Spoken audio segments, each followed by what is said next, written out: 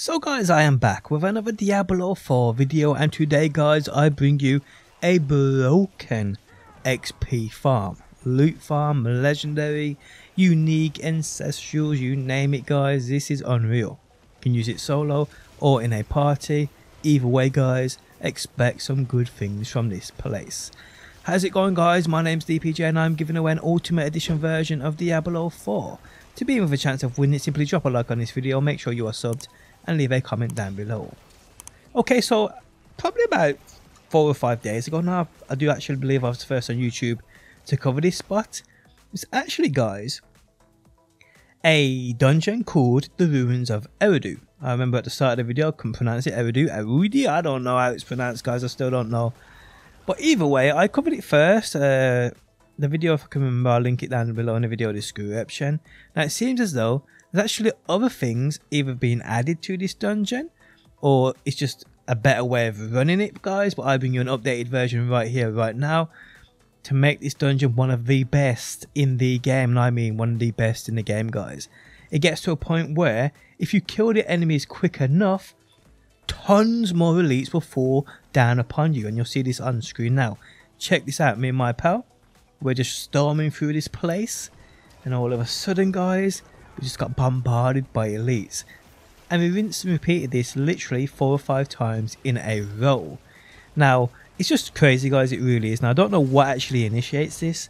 All I know is, and what we were doing was, we were grouping up the ads. Now you see the map now firstly. As you know with the random RNG of the way dungeons and their layouts and that. But it's normally, this is the way it goes. There's normally guys like a, a weird figure 8.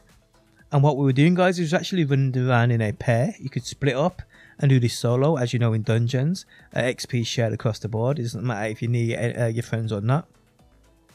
But yeah, we were actually running together because we just tried to group up all the ads and then we were just absolutely slaying them. By the time we got probably to about the third group, we slayed them.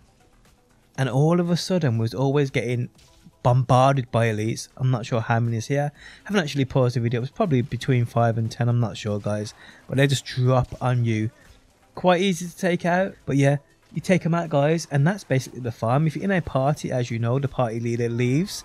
Uh, he will spawn back outside of the dungeon. We invite the party back into the game. You join, we enter the dungeon. But that's what we were doing. We were literally just running the first part, the first figure eight. Now this dungeon does go on. It goes on, and there's other areas in it where there's tons and tons of enemies, tons and tons of elites. But if you want to do this efficiently for XP mainly, just do the figure eight, guys just leave the dungeon and rejoin back into it. Just do that as quickly as possible. No joke, guys. I got probably, and this isn't, I ain't exaggerating here. I got in literally 27 minutes because you ran it four or five times. I got like two nodes and a level, not a full bar. I didn't get a full level. I got two nodes uh, from Paragon Tree, and I got uh, well, I finished off that level, and I got a bit more as well. This is in like 28 minutes. We weren't even doing it as efficiently as we could either. And like I said, we could split off. One goes one route, one goes the other route, just meet in the middle. Simple as that, people. But yeah, it's a great, great farm.